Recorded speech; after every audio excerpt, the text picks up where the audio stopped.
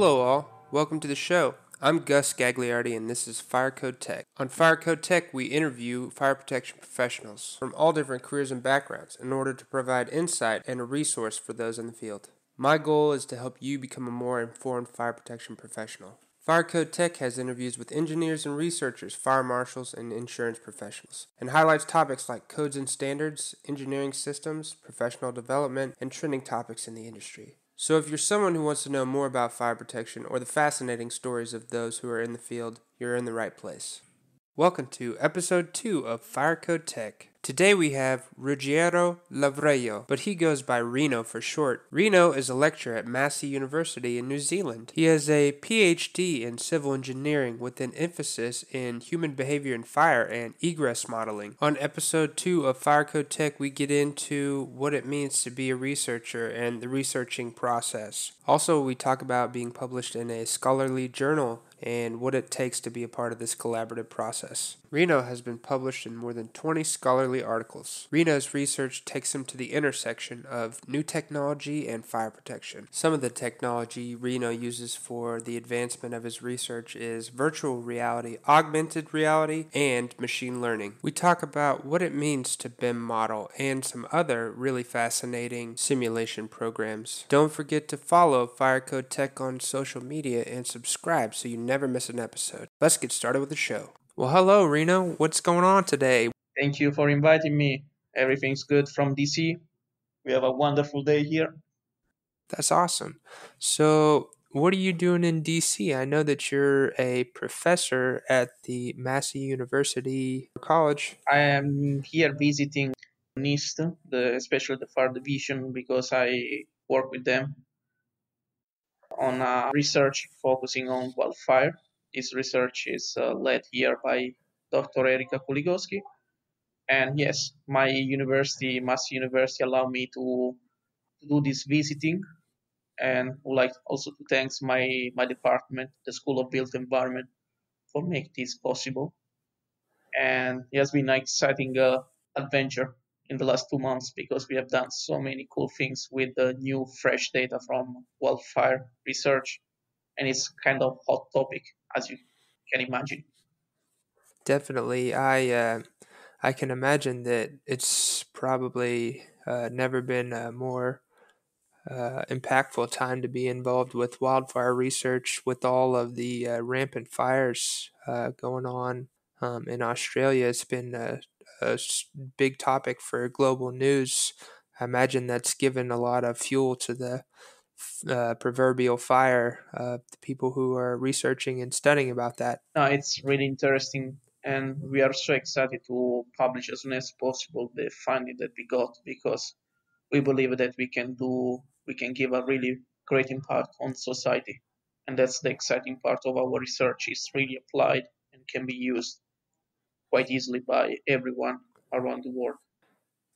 That's great. Well, tell me a little bit about your background for the people who don't know. Um, maybe a little bit about your education or your upgrade or upbringing, so people can get a little idea about you and about uh, how you got into fire protection. I started studying uh, more than ten year university studies more than ten years ago, or I might say also more than ten kilograms ago, and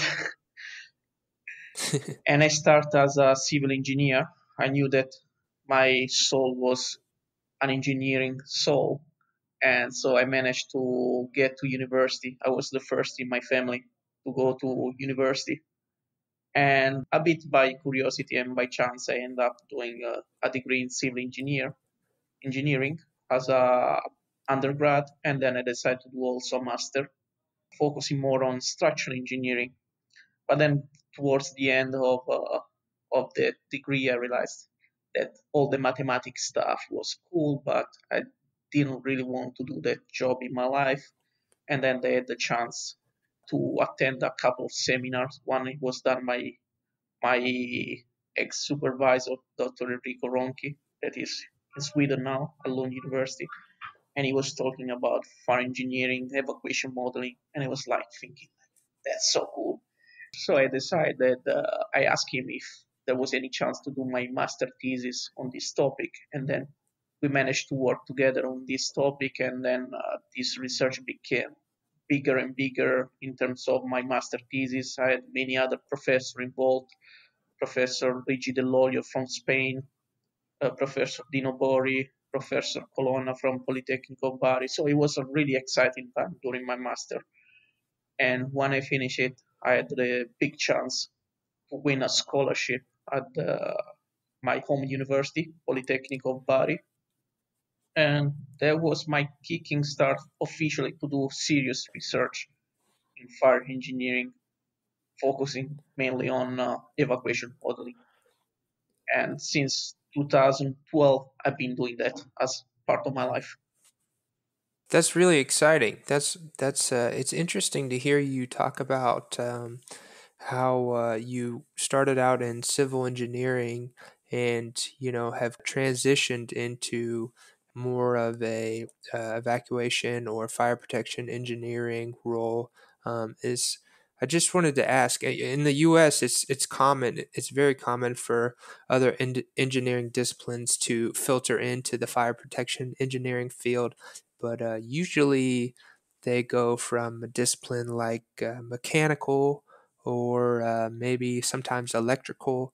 Only rarely have I uh, seen people come from a civil background. Is that is that more common in other parts of the world from my experience, uh, there are a lot of people. Like I'm working in New Zealand, and I can tell you, I've been talking and meeting with a lot of people uh, that work in the field, and I can say that there is a lot of people from structural background, civil background that they swap studying on this field. I kind of help quite a lot to spread the news that hey, there is also this field among my students because it's a really exciting topic. I must say that in Italy, it's reasonable that someone with a civil background start doing something like that, but there is also a mixture of uh, people from mechanic engineering because there is, as you might know, there is a lot of uh, computational fluidodynamics, and there are a lot of people in mechanic engineering that can give a lot and apply a lot. Intuitively, it kind of makes sense that most engineering disciplines, I mean, if you're in some sort of engineering, you could make your transition into fire protection and but uh, yeah, I was just kind of interested about that.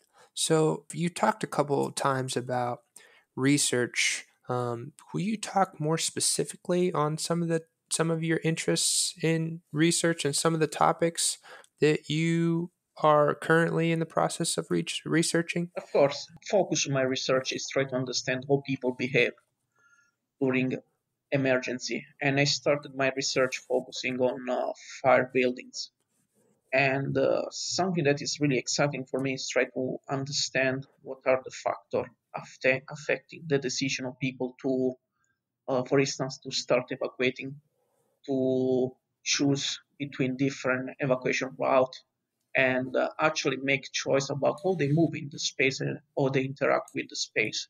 I've been really lucky because I'm playing with this kind of research quite a lot. For me, it's really a game my work, and I've been trying to make this investigation using uh, evacuation drills video, using uh, uh, new technology like virtual reality technology, augmented reality, in which you can expose people to a simulated emergency and try to understand how they will behave. And it's really exciting because you can do so many variation of the emergency and try to understand why people make such a decision. And I believe that this new technology have a really huge potential for training purposes because you can use the virtual experience to teach people what's the best things to do in case of emergency. And for instance, last year we did a really exciting study showing that uh, doing training with virtual reality, especially for fire extinguishing, is much more strong in terms of retaining information compared with the traditional videos. So we I'm I'm promoting quite a lot this new technology because I see a lot of potential for them. That's really neat. Uh, you touched on a, a couple topics there that I'd like to go a little bit more in depth on. But um, yeah, I'd read a couple of your um, research articles, and oh, it seems like more than a couple of them talked about uh, pre evacuation uh, movement or factors contributing to pre evacuation. So I think that's really interesting. In my schooling experience, we had a life safety class, and um, in one of the classes, we had a voice evacuation drill where our teacher would read off a set of instructions and then record how we exited the building by using cardinal directions. Uh, it was interesting because everybody, you know, took their own um, path out of the building and yeah, I just that's my experience with pre-evacuation and egress modeling a little bit. But yeah, I just wanted you to speak a little bit more maybe on pre-evacuation and some of the factors that are involved with that because I know that you've spent some time there. Been one of the uh, most exciting part of my research on uh, pre-evacuation uh, study, and I started when I was in Sweden, working with my ex-supervisor Dr. Ronchi and uh, Professor Daniel Nilsson I say that we are lucky because we have been stealing Daniel Nilsson from Sweden. Now we have it in New Zealand, so it's much easier to do research with him. and uh, we we started doing research there because they managed to collect data 20 years ago, and uh, I was really fascinating. Wow. To have the possibility to work with this data from uh, evacuation drills in a cinema It's exciting because you can see that the, the stage is really characterized by uncertainty because people don't have information, they don't have a clue about what is going on. So you see that when they start getting information, this can be done using alarms of uh, through social interaction. They understand that there is something going on. You can see that uh, or they can shift from uh, their normal state, that is the state before there is an emergency to their pre-evacuation stage in which they try to understand what's going on. Then they make the decision that, okay, it's time to get out of here. And then eventually they prepare themselves and then start to move finally towards the safe exit. At that instant, we can say this is the end of the pre-evacuation st- time, and then they start moving towards the towards a safe place that can be outside the building or inside the building. Depends on what's the strategy involved. And for me, it was really exciting because we can use a lot of modeling tools, traditional modeling tools to investigate the weight of each factor, social factor, environmental factor, on the decision making process. And just lately, we have been doing a really exciting uh, research using even machine learning. And this is a research that we have started with uh, wow. uh, a dear colleague of mine, Dr. Xilei Zhao from uh, University of Florida, and we try to use the same data set and see how much can we get things better with machine learning, how much can we learn better using this new mining, data mining technology. So it's still an open question for me, and I'm trying to use new technology, new stats, new tools to dig deeper and deeper, and even doing new drills through Massey University, I had the possibility to do really amazing evacuation drills in which we had the chance to investigate evacuation, pre-evacuation behavior in our Massey library or many other retirement homes in New Zealand. So it's something that is growing, growing. I just need to find time to sleep less and write more about it. I hear you. Man, that's exciting. It sounds like you are really into the cutting edge of technology. It's uh, you know you've you've hit a lot of uh, big terms, and I you know from reading your research a little bit, I can tell that you know you're into big data, machine learning, you know VR, AR, BIM. Just to transition a little bit, you spoke a little bit earlier about virtual reality and augmented reality. What kind of applications do those have for egress modeling? And, you know, I, I, know you've already talked about a little bit how they are effective in drills and how they um, are really effective modeling uh, techniques. But yeah, will you speak a little bit more on, you know, what is VR and AR? Perfect. No, virtual reality, the difference, virtual reality is when we have a complete immersion in a digital world we can have a not immersive virtual reality, and that's what we display on a screen. Basically, when we play any video game, we have experience of non-immersive virtual reality. Instead, when we put those fancy goggles and we get part of the game, we are immersed in the game, we have the so-called immersive virtual reality. Instead, augmented reality is the visualization of digital content in the real space. And the easiest way to explain that is to think about holograms around us. One of the easiest example is Pokemon Go, in which we have Pokemon bouncing around our room, or even the reversing camera of your car, if you think is a perfect example of uh, augmented reality, because generally you have the visualization of digital lines that help you to make your own decision. So it's a technology that has been there for a while, and it's really interesting to use this technology for evacuation ingress because we can use virtual reality to test different things. We can, for instance, test if the evacuation signs we put in a building actually are perceived by people and well understood by people, and then eventually fulfill their purpose.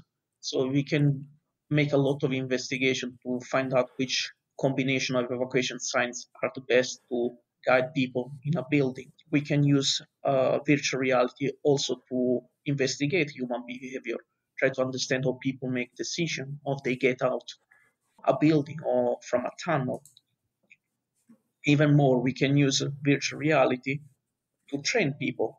So we can give them a package in which they try a software simulation which they try to use an evacuation system like a fire extinguisher and they learn through the process by doing mistakes and i can tell you that this information they get really stuck on the mind, mind of, uh, of the people that do the training so there is a lot of potential potentiality for virtual reality it's also good to let people that don't know anything about evacuation to be part of the evacuation and show simulation of what will happen if there is an emergency in a building. So you can immerse them in the emergency and show them the results of an evacuation simulation run with a computer. Augmented reality is pretty much helping in the same way. Can be used basically in all the fields and uh, we have been doing a bit of literature review about what has been done so far. This is a work that I've done with a colleague, Max Kinateder, from uh, the center ICNRR. I don't remember the name of the government organization of Canada for research, sorry. and uh, we have been uh, doing research, a literature review, and try to understand uh, what are the applications of augmented reality for evacuation uh, purposes. And this research hopefully is going to be out soon, showing all the potential of this new emerging technology. That's really interesting. Yeah, I I've definitely thought of Pokemon Go as augmented reality and some other games as augmented reality, but I've never thought of, you know, the lines on your backup camera. I guess that is augmented reality. Those lines are not physical. It's just a projection onto, you know, what is actually there. Yeah, so I think that's a, a key uh, factor. And you know, we're talking about VR and AR. You know, virtual realities that uh, full computer, full digital experience, and that augmented reality is kind of that pseudo full digital. You know, you're one foot in the virtual world and one foot out. So I think that's really interesting and. I definitely see a lot of promise in that area and you know in the next 10 years i can only imagine what we're going to be able to do with that technology it's it's in its infancy for sure um, so that's really interesting i wanted you to speak for just a moment on bim bim content or you know i see that uh, one of your classes that you've taught or maybe that you're still teaching is a bim class at massey university could you just speak a little bit on uh, bim and and your stance on BIM and what BIM is and that sort of thing? Uh, BIM stands for Building Information Modeling. And if you Google it, there are many definitions about what is BIM and uh, if it's a process, if it's a 3D model. So, in uh, short terms, uh, in a short definition, I can say that BIM is a database building database with all the information that you can have about that building, so not just about the information about what's the number of door, what's the furniture that you get in that, how many beams, but also the information about when those elements will get in place and what's the cost of those elements and what's the lifetime uh, of these elements in the building. Also, all, all this information there are connected with a visual the model that allow you to investigate from a 3D point of view all this information. But people talk also about BIM in terms of a pro- process, because if you start sharing information in such a, a new way, you can uh, modify all the way we run uh, uh, construction uh, work in terms of programming, in terms of uh, uh, cost estimation, and that's why I'm teaching this topic in in our degree Massey University in construction. Because it's a key tool that can make a big difference in uh, in the process of uh, construction. Simplify things, reducing uh, clash that, reducing clashes, reducing error, reducing redoing, and so killing the costs and improving the quality of the built environments. Definitely, I totally agree with you. Uh, yeah, my uh, I've had my experience with BIM is that it's excellent for coordination.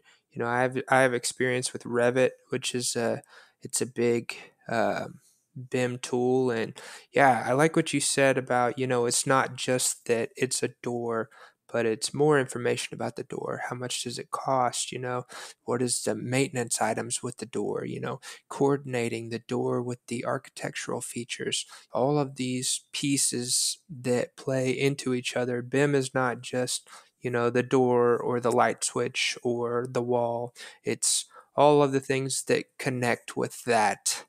The potential is great because also for management of the building in terms of facility management, the building information model that then we kind of swap the name in asset information model is a key set of information if we want to maintain a building and if we want to make a change in the future of the building and even at some point when we want to demolish the building we can have enough information to do those process in a really effective way the important things the central is to maintain the BIM maintain the information. Whenever there is a change in the real building, we need to make this change also in, in our data set. We start in fact calling. We are so, if we push this so much, we can call it digital twin. And we can start using this digital twin to do a lot of accurate assessment about what is going to happen. I see what you're saying. Yeah, and that's a constant struggle with the building owner um, is keeping the model up to date. You know, oftentimes you'll get a set of drawings from a building that was constructed, you know, 20, 30, 40, 50, you know, 80 years ago. And the as built drawings are from the initial construction, and, you know, you don't have reliable information about what the existing state of the building is. So that updating the building uh, model and just having that. I like that. I've never heard that term before, digital twin. I think that's interesting about how you can have a mirror image effectively of a building's contents and how that helps with maintenance and just yeah all th- all through the life cycle of the building from the construction to the maintenance to the demolition that's my goal BIMify the world in terms of my teaching try to convince my student first and push them to convince their employer that that's the future. I believe it. Yeah, it's it's remarkable that, you know, even in the short span of my career, I've seen the industry, the construction industry lean into BIM and, you know, more 3D coordination. And so I think that that's infinitely interesting and it's the inevitable direction of the field. So I I think that's great.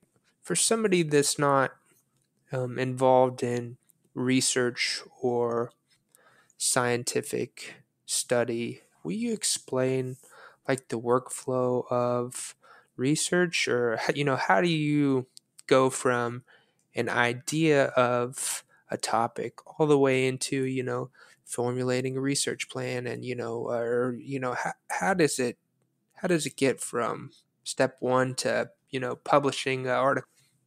This process is uh, really changed depending on the level of your career. Let's get the case in which you're uh, a phd student and you're just a beginner with a research topic generally you have a broad thinking about I want to investigate the field, and then you start scoping down about what you really want to investigate. And the best way to have an understanding about what is going on and what has been done so far is to do a comprehensive literature review. So generally, this is always one of the first steps in a research, unless you are already an expert in the field, so you know already because you've been reading the last 10 years what is has been done. So if you're a beginner, that's the best way read, read, read. Try to understand what has been done. Try to understand what has been the advantage of new approaches, disadvantage of these new things, and try to identify the so-called research gap. That means that there are spaces in which we don't really know what is going on. We don't really have answer. Or we know in certain condition. So we, we want to understand much more in, about that. And whenever you are capable to identify the research gap, that's the starting point to build your work. And uh, most of the time, we try to bring light, collecting new data or developing new experiment that give us the information that we want, and then do a bit of analysis about the data we collect, and finally provide an answer. That's the exciting part. Then for me, the boring part is to write down what you have done. and probably this is a bit the tedious part for many of my students write down. They are really scared of writing reports or journal article because it's if you think explaining uh, in a really clean and uh, simple way what you have done to everyone else seems easy, but it's not that easy. In fact, writing the first draft it might take even a couple of weeks, three weeks, a full month, and then uh, you ask uh, all the collaborators to read it. You see that among all the people that have been involved already in the research, they read it and they start saying, uh, "You know, I don't really understand what you're trying to say here."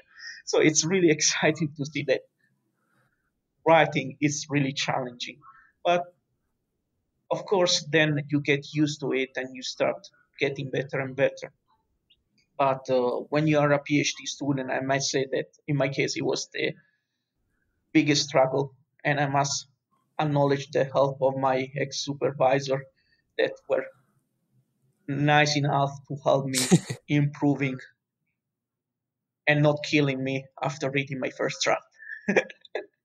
yeah, I guess it makes sense. You know, you have all this process and this research, and you find, you know, oh, here's the conclusion. And then you have to take this large, abstract, you know, cutting edge technology idea or conclusion, and you have to distill it down to, you know, the salient points or you know the you know the real meat of it. And so i'm sure that's as much of an art as finding out the topic to research or providing you know a meaningful conclusion is being able to convey that idea in a way that is effective you know? I've never thought about that and this is just halfway because once you have a piece of paper that is written it's still not real science in the sense that you need to try to publish it and that's can become really challenging because you need to submit it and go through a peer review process. I know that you've been published a bunch of times. It looks like you've been published, you know, uh, what was that? It looks like you have. In terms of journal paper, almost 30 journal papers. I wanted you to talk about uh, a little bit on what it is like to submit a scholarly article to a journal paper and yeah what does what does that look like because i i really have no idea working in the commercial fire protection um, you know uh, what that looks like. So the process is uh, it's uh, that you try to get the best that you can get in terms of shape of your manuscript, not just in terms of writing, but also figure that are really good in terms of resolution, in terms of what they explain, in terms of a research process that you have done or results, and also in terms of wording, making sure that there is no typo. I must confess that I'm one of the worst typo makers in the history. So you have to make sure that the text is not perfect, but almost there. And then you submit it to a journal that you believe where the article might fit. And there are a lot of tools from Elsevier, Springer that help you to select what's the best journal. Another way to identify the best journal is to see which article you've been citing quite a lot, which from which journal they are from, and probably that means that this journal is kind of a carry on on a research topic that has been really important for that journal. So once you select the journal, then you need to write a nice uh, cover letter explaining to the editor in chief why this new piece of research mattered, why you want to submit it to that journal. So explain the rationale behind and uh, submit it. And then what happens is that uh, either the editor in chief or the associate editor is the one that read scan this journal, try to understand what he's talking about, if the quality is good enough for a journal publication. And after that, he decide to assign this if he pass all the checks, you know, uh, he decided to send uh, this uh, journal for peer review, at least a couple, two, three external reviewer. That are generally academic people or people from the industry that are really expert on that topic, and ask them to go through the paper and advise in terms of uh, quality of the of this piece of research. And this process is generally blind with the reviewer and uh, it can be also double blind in, in, the in the terms that the reviewer doesn't know who has written the the article. And the work of the reviewer is to read all the paper and try to understand if it's acceptable for publication if it requires minor change or if it requires major change or if it's not suitable enough for many different reason to the journal and provide the information to reject. And then the editor is the one moderating, try to understand what's the best decision to take using the advice of those reviewer and make the final decision. So if the editor decide to review to go forward with the review process, he submit all the comments received by the reviewers to the authors. They try to address it they send it back to the journal. Editor send it to the reviewer. The reviewer try to understand what have been the change, and they provide again another decision. So this process can go in a loop, hopefully for two, no more than two or three times, and until the time the decision has been made. And there are some process. I have an example in which I had a journal paper under review for two years. Wow. Or others that instead they were under review for just three, four months. It really depends on what's the situation of the review process. So my advice for all the researchers to be patient and appreciate all the work of the reviewer and the editors because it's all voluntary job. No one is paying for you.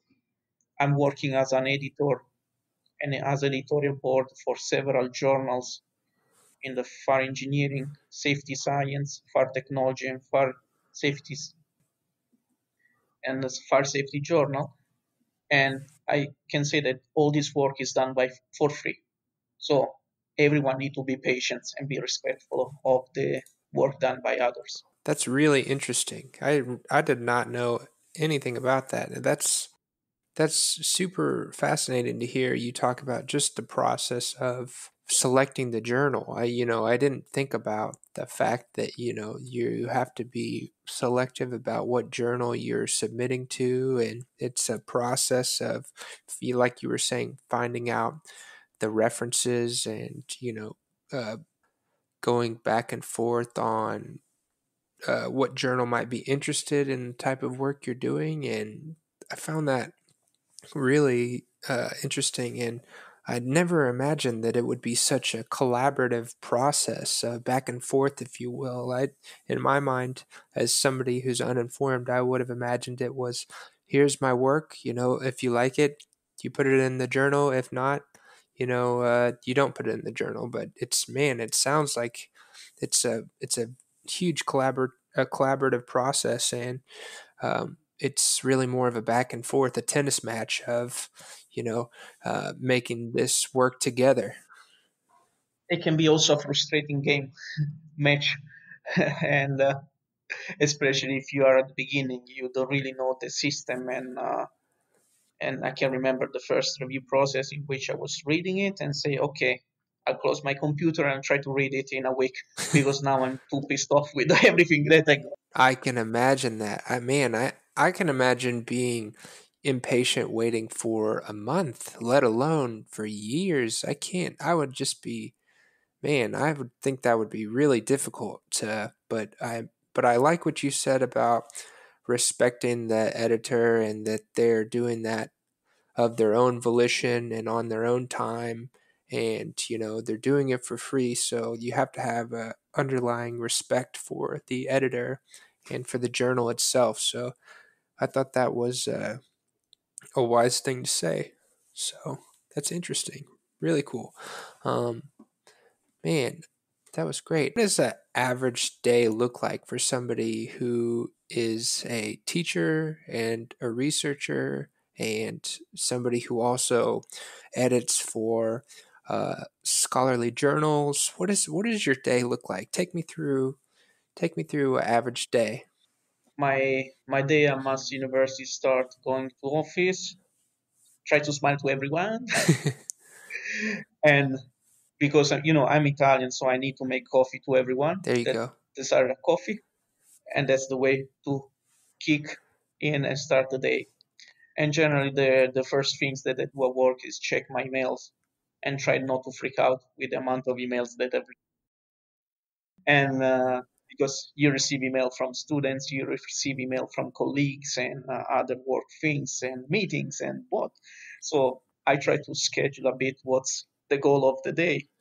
Mm. Generally, I give all the priority if I receive email from students to answer them, and especially if the some deadline is approaching, and uh, if it's a day more focused on research and try to do a bit more research that can be data analysis, that can be writing or reviewing a, a piece that has been already reviewed by someone else and so try to make the changes that have been suggested and generally then i try to have a break for lunch at least to get a bit of oxygen light lunch, bit of salad, try to have a walk to refresh my brain. And the afternoon, I try to keep doing things and I try to slowly start doing something that is lighter for me in terms of less demanding, like the writing is the things that I must do in the morning because my brain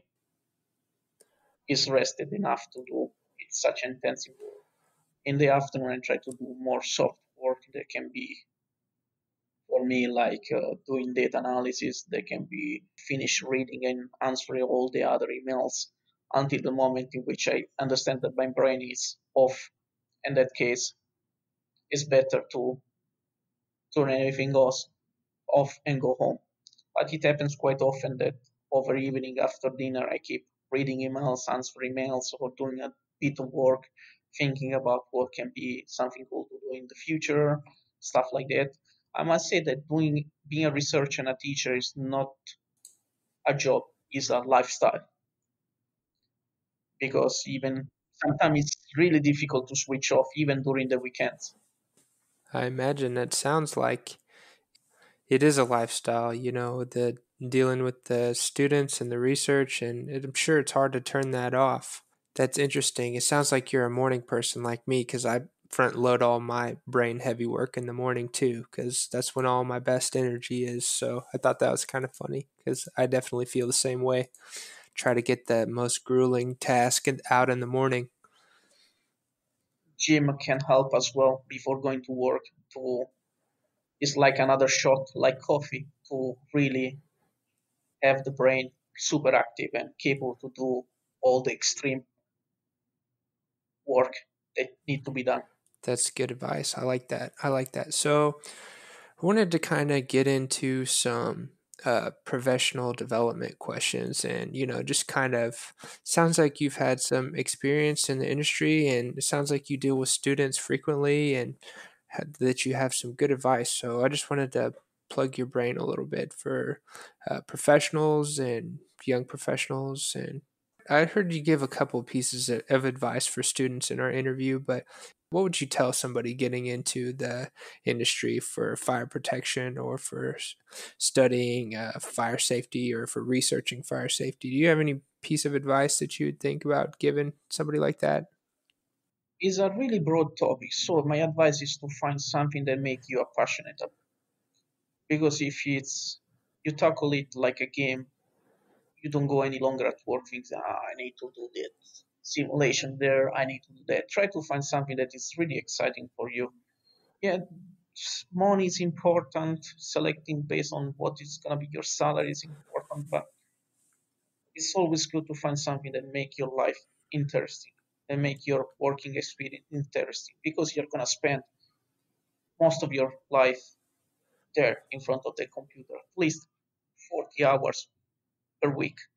So it's really important. And there are so many cool things that you can do in uh, in the fire protection fields, from uh, simulation and modeling to that can be applied for fire, uh, fire modeling, that can be applied for evacuation modeling or passive protection system or coordination of the project. So there are so many things, and my advice is always to find something that is really make us vibrating inside. That means that it's the right things, and you feel really that you're doing something that you really care, and that makes your life and working experience much better. That's awesome. I like that.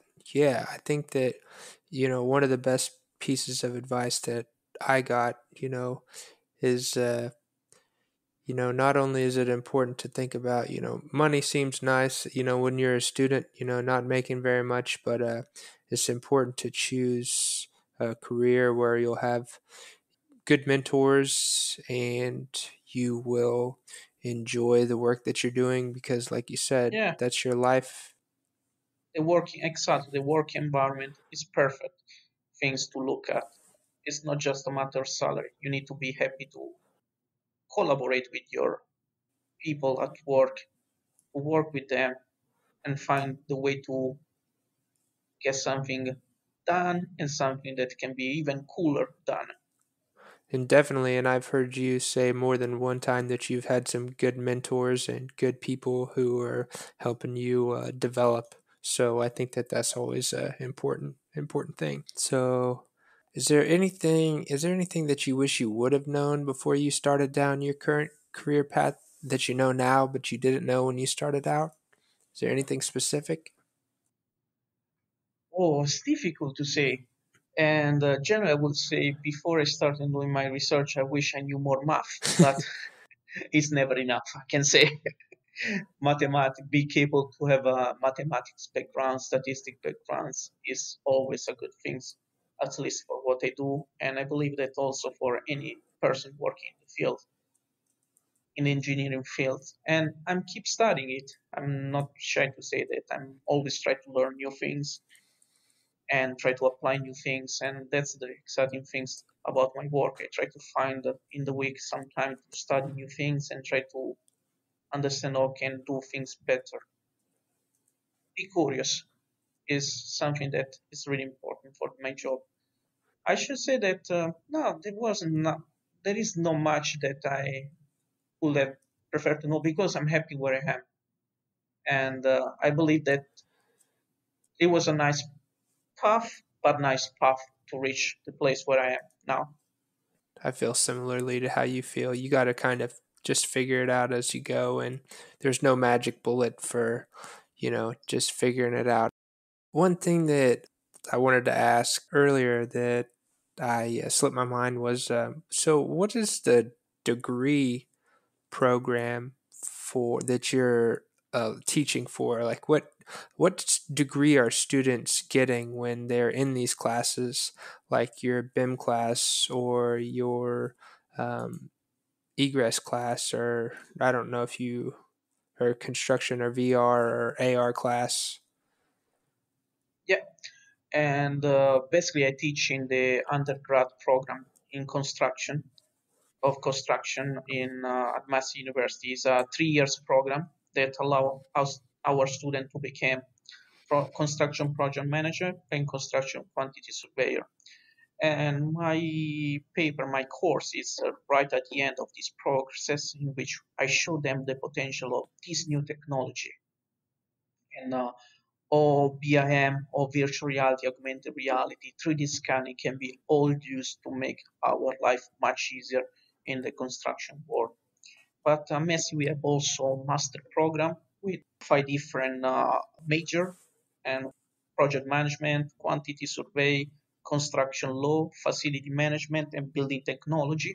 And uh, we are planning to open also a new path in uh, digital construction, in which, as you can think, just listening this uh, this uh, major, there are different specialization for our uh, master students and it's a really exciting master because we have a lot of uh, students that get in, especially international students that come, they learn about uh, new things, and then they have the possibility to apply it in a really dynamic and exciting uh, working uh, place like Auckland or the full New Zealand. There is so much of demand for our student that it's really challenging to be unemployed with our degrees. Yeah, you really need to work hard not to be employed.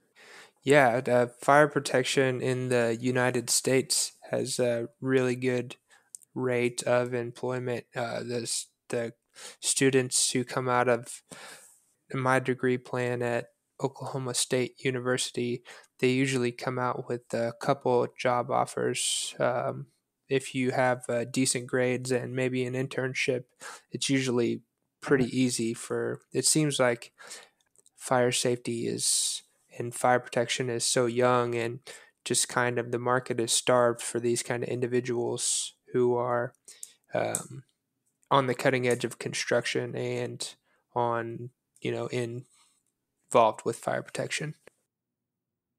New zealand is definitely a nice place to look for a job if you really want to have a life change. It is a beautiful place to work and live and there is so much demand. So it's something that I really advise to everyone that is thinking to make a move. I never thought about it. It would be interesting for me to think about um, what. Uh... Yeah, you can just send me your CV. just kidding. no, I just was saying I just wonder about all the differences, just culturally, you know, from the U.S and New Zealand, you know, from the different ways that we work, I'm sure there's more than a couple. But uh, yeah, I have no idea. I'd never been anywhere close to New Zealand, so I don't even have have uh, context for that.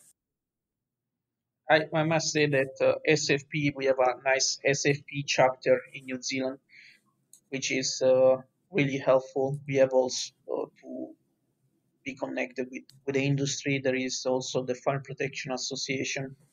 Uh, we have also the Institute of Fire Engineering. So it's a nice uh, combination of organization and association that help to uh, create networking with the with our small. Do you participate in any professional societies? Are you do you go to meetings or do they have student chapters?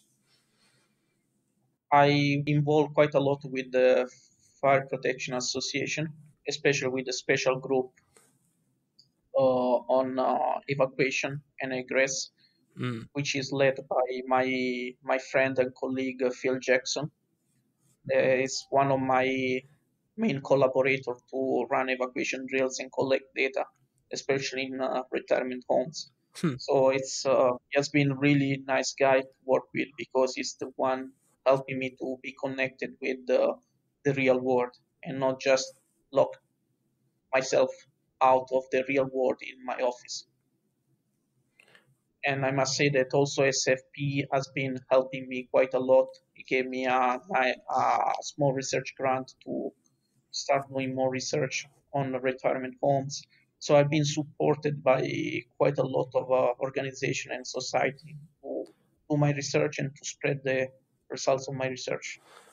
That's awesome. It sounds like you've been uh, gaining a lot of traction uh, with the grants, and you know, you sounds like this new um, this new work that you're doing with NIST is really exciting. Um, I saw that you have a talk coming up um, about. Uh, oh yeah, it's tomorrow. That's so exciting. What's your What's your speech about?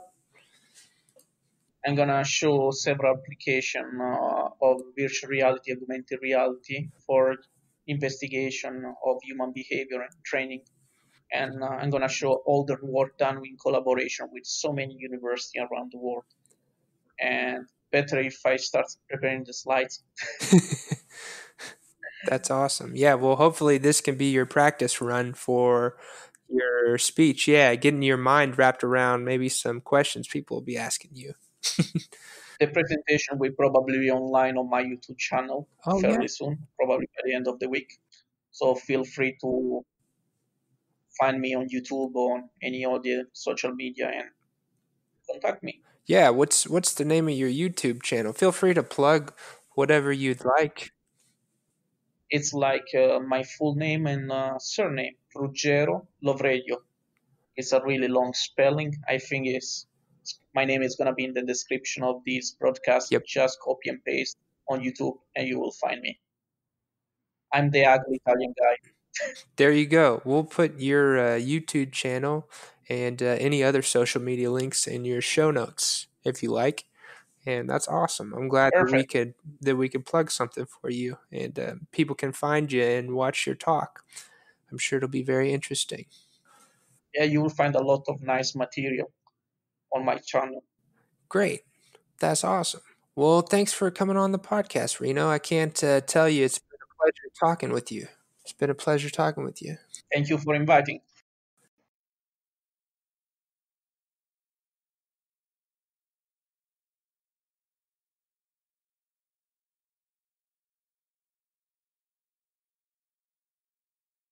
Thank you for listening. Be sure to share the episode with a friend if you enjoyed it. Don't forget that fire protection and life safety is serious business. The views and opinions expressed on this podcast are by no means a direction or code interpretation. Be sure to contact a licensed professional if you are getting involved with fire protection and or life safety. Thanks again and we'll see you next time.